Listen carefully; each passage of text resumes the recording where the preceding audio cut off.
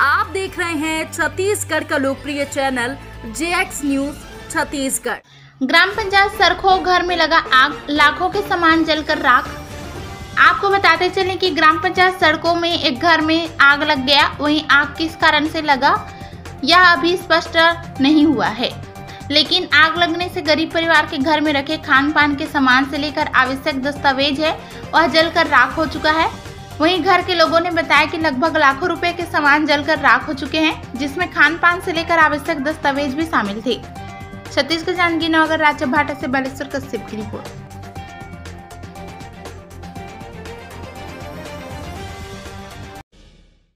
यदि आपने हमारे चैनल को सब्सक्राइब नहीं किया तो कर दीजिए और बेल आइकन को दबाना ना भूलें, ताकि आपको हर खबर की अपडेट मिलती रहे।